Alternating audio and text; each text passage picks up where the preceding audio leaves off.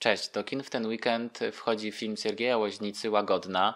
Mieliśmy okazję ją zobaczyć na zamknięcie ósmego festiwalu Kamera Akcja i chcieliśmy podzielić się z Wami naszymi wrażeniami po projekcji e, tego właśnie filmu. Łagodna Fiodora Dostojewskiego opowiada historię pewnej łagodnej, dumnej dziewczyny, która tylko do pewnego momentu była w stanie znieść nadmiar nieszczęść i trudów, które miała na swojej drodze. I mniej więcej podobną historię opowiada Sergiej Łoźnica. O ile w opowiadaniu Dostojewskiego tytułowa Łagodna e, spotyka na swojej drodze męża o wiele starszego, który ją tłamsi, o tyle mężem Łagodnej w filmie Łoźnicy raczej jest Rosja, z którą nie sposób sobie poradzić. Sama fabuła jest w pewnym sensie pretekstowa, ponieważ e, główna bohaterka otrzymuje zwrot paczki z więzienia, w którym e, znajduje się jej mąż i próbuje dowiedzieć się, dlaczego po raz pierwszy ta paczka została zwrócona.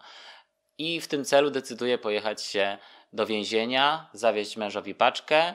Ta prosta misja jednakże zamienia się w prawdziwą gehennę, E, starcie z e, społeczeństwem, z mechanizmami, które jak wygląda na to, nie zmieniły się przez dziesięciolecia w Rosji i ta dziewczyna, która radzi sobie ze wszystkim w jakiś e, nadludzki sposób, jednak bez przerwy odbija się o ścianę społeczeństwa, biurokracji, po prostu nie jest w stanie wygrać z tą rzeczywistością, w której przyszło jej żyć i z którą przyszło się mierzyć. Oglądając łagodną, w widzu narasta coraz większe uczucie empatii i wielkiego współczucia dla bohaterki, ponieważ o ile Rosja jest dosłownie jak z kawałów, albo tymczasem w Rosji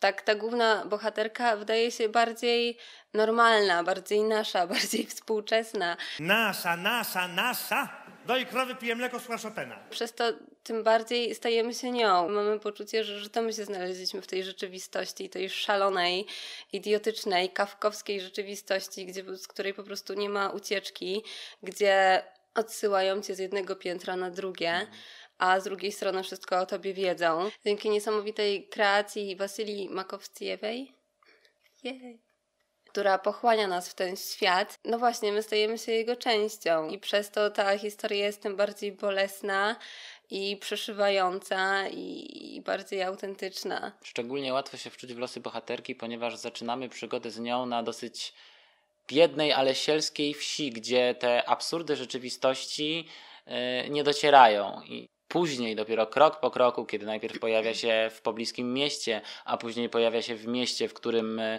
jest e, więzienie, gdzie osadzony jest jej mąż, te absurdy codziennej rzeczywistości narastają. I można mieć wrażenie, że e, gdyby Kawka miał większe poczucie humoru, to mógłby spokojnie napisać scenariusz do łagodnej łoźnicy. Tak, bo trzeba pamiętać, że jest to film mimo wszystko z dużą dozą komedii. Jest to taka tak naprawdę tragikomedia, mm. kiedy to walenie głową o ścianę miesza się e, z rubasznymi żartami, z groteską. Dzięki temu jest to jak najbardziej zjadliwe i do pewnego momentu, tak naprawdę niemal do końca, ogląda się to z wielkim zachwytem. Cała łagodna w zasadzie jest jednym wielkim e, groteskowym paszkwilem na współczesną Rosję.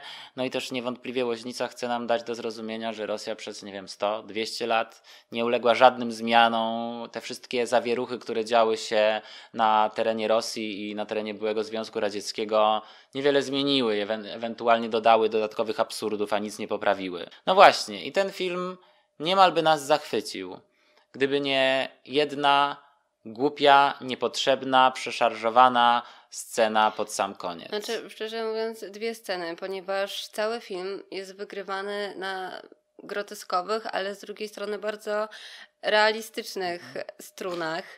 E, mamy mnóstwo zbliżeń na twarz głównej bohaterki. Towarzyszymy jej cały czas w jej udręce przez próbę kontaktu z mężem, ale wszystko to jest jak najbardziej realistyczne. Mhm. Potem, pod sam koniec, e, reżyser rezygnuje e, z tego stylu i przenosi nas w świat fikcji, świat fantazji głównej bohaterki, gdzie mamy do czynienia z zagubioną sceną z jakiegoś filmu Felliniego. Różnica jednak polega na tym, że Fellini miał niesamowitą umiejętność łączenia takich bardzo sugestywnych obrazów, obrazów z pogranicza marzeń sennych i robienia tego w sposób bardzo delikatny. Tutaj tej delikatności alegorii nie udało się wygrać, ponieważ jest to jednak alegoria gruba i przede wszystkim powtarzająca wszystko to, co wcześniej e, w filmie widzieliśmy. A w takich filmach Felliniego jak Miasto Kobiet czy Giulietta i Duchy, te wszystkie alegorie, które Fellini wygrywa, są naprawdę perfekcyjnie wpasowane w cały ciąg filmu.